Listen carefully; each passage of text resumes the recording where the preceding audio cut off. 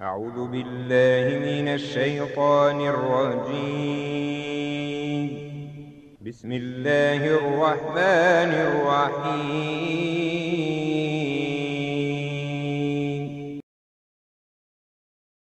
širiti kad te gleda, ako te voli. Ako te ne voli, neće nikad proširiti. Eto, gledajte, ispitajte, evo vi kad žena voli, znate da jedi se ono, baš vidite. Jer ono kad je voliš ili kad te voli, ono kad uzdiše prema tebi, onda se moraju oči širiti. Se našli, ali istinu vam govorim. E to je i vjera, kad u tebi ima vjeri, a vjera je ta energija ljubav. Jer je rekao Resul a.s. nećete u dok ne budete vjerovali. Nema bez vjere u džennet. A nećete vjerovati dok se ne budete voljeli. Jeste razumili? Nema vjere bez ljubavi. Ovo je nasilno ako je vam, ovo su zorovi. Ali vjera je znak ti ljepote, ti ljubavi. Zato je slijedženje Muhammeda a.s. znak ljubavi. Fettebiuni, slijedite mene. Juhbib kumullah, pa će vas Bog zavoditi, jer Allah voli sve od svog poslanika. Pa ako ga bude slijedio, ne sam pokoran bio, nego slijediti. Vidite vi sad kad čovjek vidiš podarane pantula, pa to je sramota prije 40 godina bilo podarane pantule, to se ušivalo, trpilo, zakrpe pravile. A sad se podarane pantole kupuju. Pa koga slijedimo? Jer naš poslanik takav bio, primjera radi.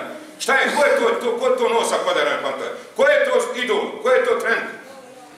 Pa ja namjerno jedim sad tri prsa kad bi što ka, kašika viljuški. Da rekne, ovako je poslanik, evo, ti šeć ima bolje, nema bolji. On je najbolji. Njega Allah nama poslao da vam pokaže i kako se nužda obavlja, a ne sam kako se jede. I ženi kad prilačiš, sve nam je kazao, i kad hoš pljuni, sve, sve je rekao Resul Ali. I on je ta ljepota, ta univerzalna ljubav. Pa koga Allah voli? Kaže, kad te zavoli Allah, onda rekne Džibriju, o Džibrile, ja volim tog i tog, i ti ga voli, pa ga onda sva nebesa zavoli, jer on razglasi sva nebesa. Zato vjernika preseli, kaže ono crvenilo na nebo, to nebesa plaću za vjernikom, da se okrije na ovu stranu. Zamisli da te sva nebesa voli. Kad te Allah zavoli, onda će ti Bog intervenisati na sudnjem danu. Recimo ti sad radio u firmi i kravu. Valja halala tražiti od hiljadu ljudi. Kravo si.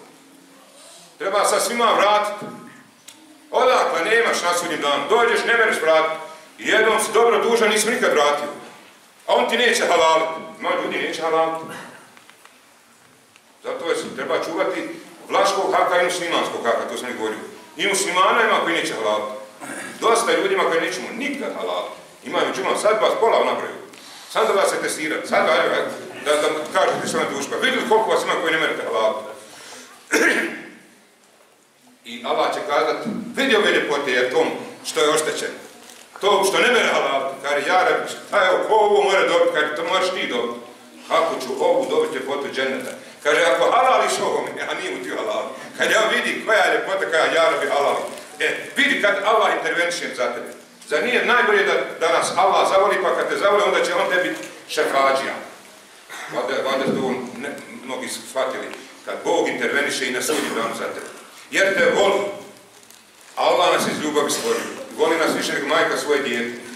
I zbog te ljubomore nam je zabranio griješenje. Iz te ljubavi nam daje belaje. Ima ljudi isto sad kad ti svoje dijete zvao, a ne ti doći. Moraš nešto dati pa da potegniš pa da ga naplatiš da ti dođe. A ti hoćeš da, on ne mere nako, mora nešto potegnuti. Pa ti Allah dadne bolest iskušenje, ne biš ga dostu. A kad ti je fino, ne vićeš ti javiti. Ne, ne treba tebi, Bog kad imaš. Jel kad čovjek ima para, on misli da on mora rasparama što on hoće. I kad je zdrav, ne mere se kaže umrti. Kao ima još vremena do mene. Pa dok pa oboliš, pa ti dadne Allah iskušenje, ne bi samo došao na stepi. Ima ljudi, ne mere dobrim djelima, mora kroz ovo, pa nemoj misliti da te Allah ne voli. Mora biti da, da baš da te voli. Hoćete sebi da privuči. Ti ženu kad dobro zavoliš, onda je testiraš, da vidiš voli li ona tebe. Nije ti svejedno ko, ko, ko sa njom sidi. Kud hoda? Jer je voliš. Moraš biti ljubomoran. Ako nije ljubomoran, neće u dženet. Ljudi kojima nije, kojima je svejedno mu žena hoda, neće u dženet, kaže Aleksandar. Njemu je zabranjen dženet. Nema ljubomori. Allah nam je dao tu ljubomoru. Allah nas najviše voli. Pa evo koji Allah grupe voli. Da ne bi prešao granicu. Da se pronađemo nekoj... Allah kroz Kur'an govori koga voli. Pa ovako kaže. Inna Allaha yuhibbu tawabin. Voli oni koji se kaju. Koji se kaju. Pa kad nešto pogrešiš, priznaj da ne moraš. Samom sebi priznaj. No da reci Arabi prosto. Priznaj, Allah voli da priznaš. Volimo i mi kad ti neko pogreš, kada eto halali, priletio sam. A tebi drago kada je neke priznao. Jel da? Pa i Allah voli da priznaš. Priznaj da ne valjaš. Nemoj kada valjaš. Šetan rekao da je dobar pa je propao. Nemoj biti ko šetan. Voli oni koji se mutatahirin, koji se čisti. Ja jutro dice objašnjavam, učim djecu. To mi je najbolja garancija za, za hiret, što djecu učim. Ovo što vazim, to ja naplatim, knjige što prodajem, Bog zna šta će mi sa tim, Allah zna, ali ono što djecu učim, nadam se. Pa govorim djeci, rekao, pet puta danas, moramo li mi biti nečisti? Možemo li biti nečisti, danas se pet puta abdestimo. Ko mora, evo sada me Karija naš učio, znaš što nas ne voli? Znate što nas ne voli? Dok dva razloga. Ostali. Vama nakvamo minhum illa an yu'minu billah. Jedina mržnja što vjerujemo Allah, to je prvi razlog. Zato što vjerujemo, to Bog to nas voli. I drugi je innahum nasun yatataharun. To je narod koji se čisti. Evo Allah kaže u Koranu, ne voli nas zato što se čistimo. I naša je razlika između nas njih, nešto imamo podarane pantole, ili ušak, ili bilo šta na odijelo. Razlika je naša što se mi abdestimo i klanjamo. Mi se razlikujemo od kafira zbog namaza i potom ćemo se prepoznati tasnim danom. Po tragovima sežde i tragovima abdesta. To je taj nur. To svjetlo što ćemo biti osvjetljeni. Zamisli sad umet Muhammedov osvijetljen, a oni svi tamni. I ti tražiš svoje dijete. ti ćeš, ja vidim je dijete. Nema ga, nije se nikad abdestilo. On je među njima tamo. Kad on je ubacu huso, neke truh huso. Nije se abdestio, idemo u glavu. Neko uči naša opcija virtualna. Abdest i namaz je naša razlika. Ne imena, ne to što je pođerašen. Jer na sudnjem danu će sve biti onako kako se rodio. Ne pođerašeni. Eto da ne bude muslimani će biti pođerašeni. E neće biti pođerašeni. Ono sad ono kao ja sam pođerašen, pa eto nek si pođerašen. To je sunet jedan od Ibrahima ali svam ostalo. Ali ti si musliman zato što klanjaš i što abdestiš. Što si onaj koji se čistiš. Pa Allah voli oni koji se čisti. Pa prija džunup, prija, to je to prija tako hođaš vazile. Pa ako bi neko, neki jedan je se morao za noć tri put kupat u, u, u kolibi. Sanjao pa se u džunupu. Pa više mi dogurila noć za, za noć, da Bog sača kako je to što je tamo bio. Ali nema sad, ja kažem, legnem kad hoću kaže, meni je zaledila u kolibi, studeno, ne merem skari glave dignut, led mi ufatio u kosu. Ali je se kupu, jer je bilo rečeno, koga džunup pogleda, nema ugora. Zemlja propada pod njim koga goda džunupastu. Koliko danas ima jednom danu, prije 15 godina, velim nešto za gusu? Musliman jagi. Kaže, šta ti je gusu? Ne zna šta je gusu. Nije nikad od više da nauči šta je gusu, kad se mora kupati. Pa zato da znate da nas Bog voli, inna Allahe butaba bin vahebul mutatahri, oni koji se čisti. Da bi neko džunup, ne daj Bože, hodu. Ebu Herere kad je vidio Pengambera, on je od njega, što je bio džunup. Bilo ga stid, što je još nije kupu. Eto da znate, da prenesimo ovoj našoj i vama i ostalima koji nas gledaju, da ne valja hodat džunupast. I kaže, on što pogleda nije, nije dobro. Samo njegove oči pogleda. Jer je nečist. Okupaj se. Dalje koga Allah voli. Juhipu sabirin. Allah juhipu sabirin. Allah voli strpljivi. Pa negdje ćete se odavne koji opci pronaći.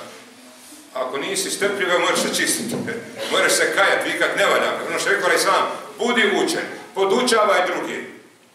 Slušaj učeni, voli učeni, a nemoj biti peto da propaneš. Evo ako ništa, voli učeno, voli šeja uča, deviša spajača, voli dobre ljude. Pa ćeš biti među dobrima. El mer o me amen e.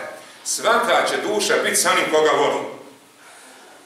Ako žena čovjeka ne voli, neće sigurno sa njim nagirati zajedno. Nek se ne, ne, ne štikira, nek izdrži još malo i dobre. I obradno. I obradno. Ja kad sam rekao negdje da će žene birat na onom svijetu s kim će čovjekom, ona kaže super, neće njega izabrati. Osta ga je trpila na dunjalku, još da na hiljatu sa njim budi. Obradovo sam ženu. Da, neće se dugo ovdje patiti. Ali onoga koga tvoje srce voli ti znaš. Zato ispitaj, vidi koga voliš. Bićeš sa njim. Pa ako tvoje srce vezano za njega, ili ga popravljaj ili napuštaj. Jeste razumili? Kažu mu, Jarane, ja tebe volim, ali vidim nešto, ti ne ideš. Ja sam tako jednog volio, ali na džuni išu. Ja vidim meni drago kad njemu kreni. I rekni ovako u sebe. Jara bi daj mi neki šaret, ja ovo nije dobro. Nisam ja zdrav dok njega volim, ona džumu neće. To mi znak, pa mi Allah dao znak. Sjeo sam sa njim, nakon dvije godine družine, Bog zna, možda 200-300 puta smo sjedili zajedno i već se ono ko zavolili. Ali Allah dao onda da ja vidim šta je iznutra u njemu. Jer sam ja rekao, ja rabi, pomozi mi, ovo nije dobro. Nije ovo dobro, ja njega volim, on džumu ne idi. A moje srce ga voli, ja ne verim svom srcu komandovati. Samo ako Boga mora da me izliječi. Jer Allaha pozivaš, On je taj koji daruje sve. Ne mereš ti svojim srcem upravljati. Bog upravlja srcem. Pa mi je dao. Pa mi je dao, pa kad je rekao, ne Bog postoji, nek se on u kući. Toliko je iz njega izašla na sva prijavština. Pa sam ja vidio ko je on. I odmah sam izašao, nisam smio više sjediti sa takvim sanom. Da jedan siman smije takvog sumnjati u Boga. A ja ga toliko zavolio.